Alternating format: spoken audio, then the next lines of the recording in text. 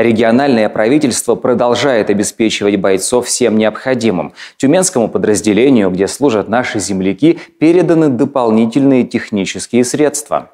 Специальные технические средства, которыми вы будете пользоваться, устанавливайте, берегите себя, берегите своих подчиненных личный состав.